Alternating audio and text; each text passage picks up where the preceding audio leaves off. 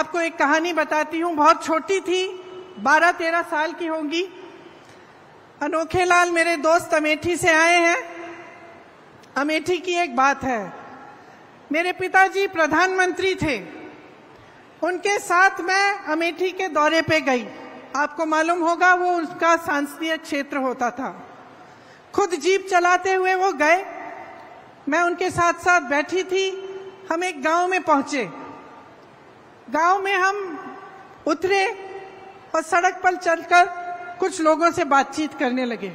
अचानक एक महिला उठी, बहुत ज़ोर ज़ोर से डांटने लग गई मेरे पिताजी को। तो मैं खुद चौंक गई, क्योंकि पिताजी से तो थोड़ा सा डर डर तो बच्चों को होता ही है, लेकिन उसके ऊपर से वो प्रधानमंत्री थे और मैंने ऐसे नहीं देखा था कि कोई उनको ऐसा डांट सके।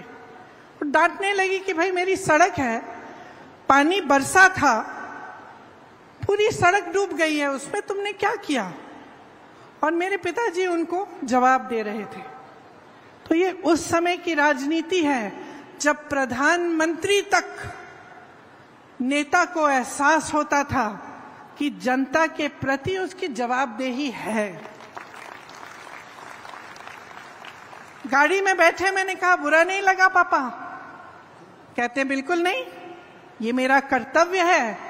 और ये उसका कर्तव्य है, उस महिला का, कि मुझे याद दिलाए, मुझे बताए कि यहाँ ये समस्या है, इस समस्या को सुलझाओ। मैं आपको एक कहानी बताती हूँ, बहुत छोटी थी बारह तेरह साल की होंगी। अनोखे लाल मेरे दोस्त अमेठी से आए हैं।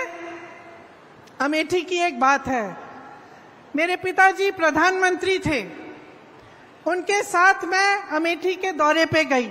आपको मालूम होगा वो उसका सांसदीय क्षेत्र होता था। खुद जीप चलाते हुए वो गए। मैं उनके साथ साथ बैठी थी। हम एक गाँव में पहुँचे।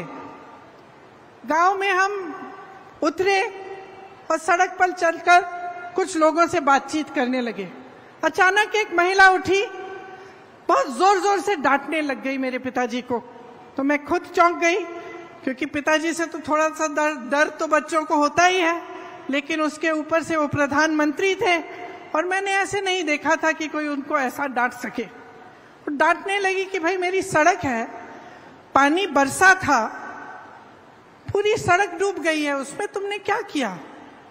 और मेरे पिताजी उनको जवाब दे रहे थे।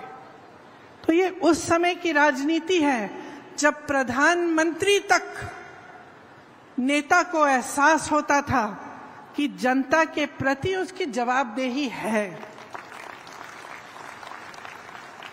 गाड़ी में बैठे मैंने कहा, बुरा नहीं लगा पापा? कहते, बिल्कुल नहीं। ये मेरा कर्तव्य है और ये उसका कर्तव्य है, उस महिला का, कि मुझे याद दिलाए, मुझे बताए कि यहाँ ये समस्या है, इस समस्या को सुलझाओ।